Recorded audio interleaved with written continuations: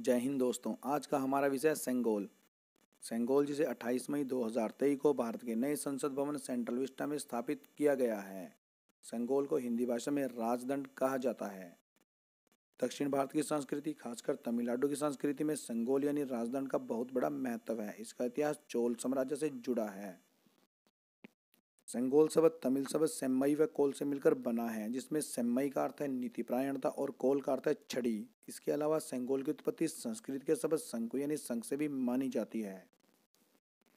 अर्थात संगोल का सामान्य भाषा में यह अर्थ हुआ कि संगोल को निष्पक्ष यानी बिना भेदभाव और न्यायप्रिय शासन का प्रतीक माना जाता है और साथ ही संगोल को प्राचीन राज्यों की शक्ति और सत्ता का भी प्रतीक माना जाता है।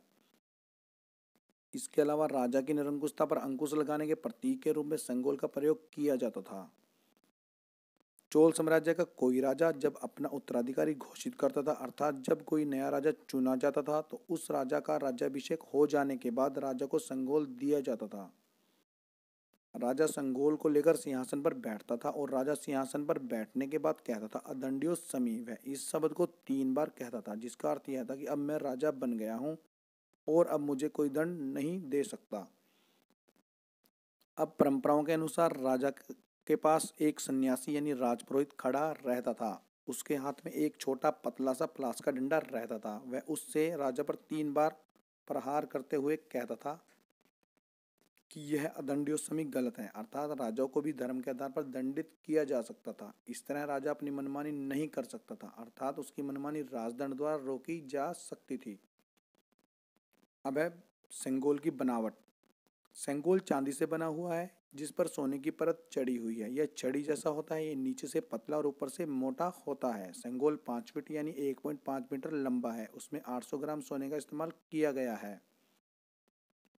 इसके शीर्ष भाग पर नंदी की नक्काशी की गई है।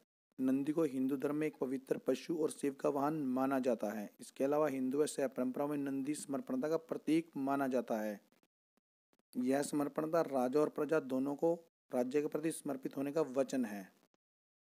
इसके नीचे वाले भाग में देवी लक्ष्मी व उनके आसपास हरियाली के तौर पर फूल पत्तियाँ बेलपुटे उकेरे गए हैं, जो कि राज्य में संपन्नता को दर्शाती हैं और यह राज्य में कृषि संपदा का प्रतिनिधित्व करती हैं। इसके अलावा इस पर भारतीय तिरंगा भी बना रहता है। सेंगोल की लंबाई पाँच फुट है। इसका भी एक विशेष महत्व है। अगर कोई व्यक्ति इसे पकड़कर खड़ा होता है तो यह मनुष्य की औसत ऊंचाई के बराबर है। इस तरह इसकी ऊंचाई एक समान नागरिक का प्रतिनिधित्व करती है, अर्थात इसमें वंश, भाषा, जाति, धर्म के आधार पर कोई भेदभाव नहीं है। सेंगोल का इतिहास पाँच हज़ार साल पुराना माना जाता है, इसलिए सेंगोल का उल्लेख हमें महाभारत के शांति परम में भी मिलता है। इसके अलावा सेंगोल का उल्लेख तिरुकुरल व दो महाकाव्य मणिमेघलो शिल्पिदाकार में भी मिलता है। सोंगोल यानी राजधन का इस्तेमाल चोल साम्राज्य के अलावा मौर्य साम्राज्य, गुप्त साम्राज्य व विजयनगर साम्राज्य में भी होता था। जय हिंद।